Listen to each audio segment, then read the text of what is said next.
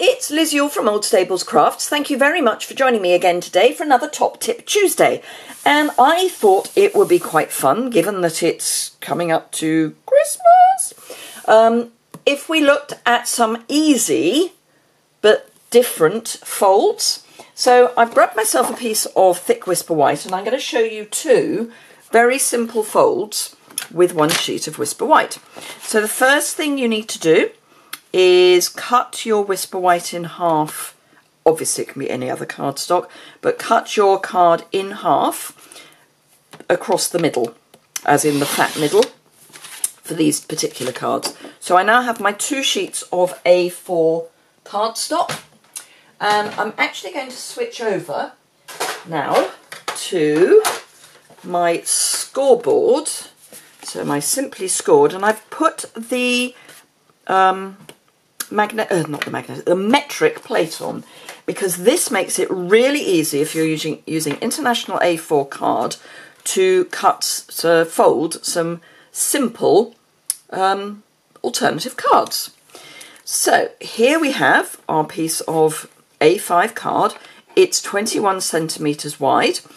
So to make my first fold, I want to do a tri-fold.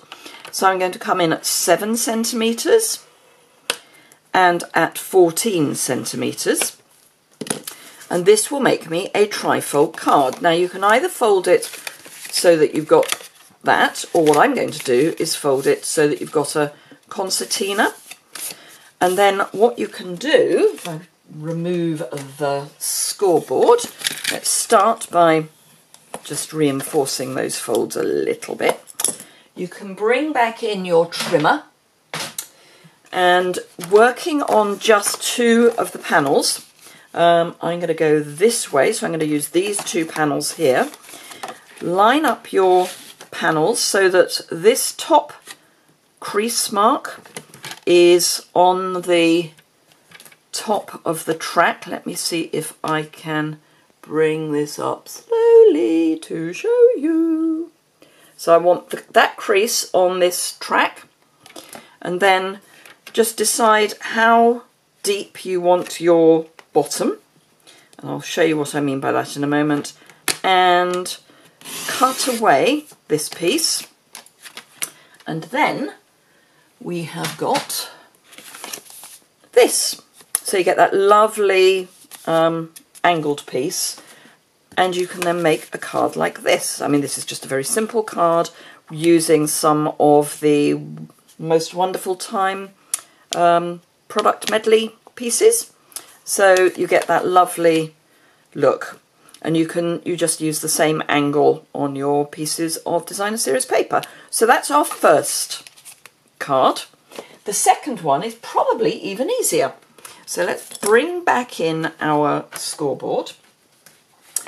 And we've got here um, 5 point well, it's in millimetres, so it's 52.5 millimetres.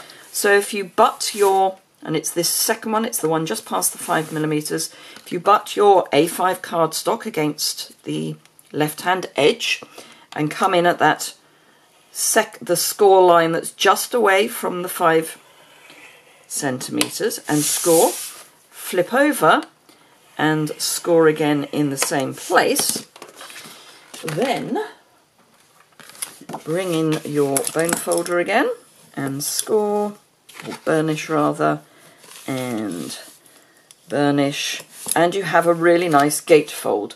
So again, using some of the most wonderful time papers, I've just popped some papers here. I'll need to put a liner here and a sentiment um, and zooz it up a bit, but there you are. Two very simple folds from a piece of, well, just half a sheet of cardstock.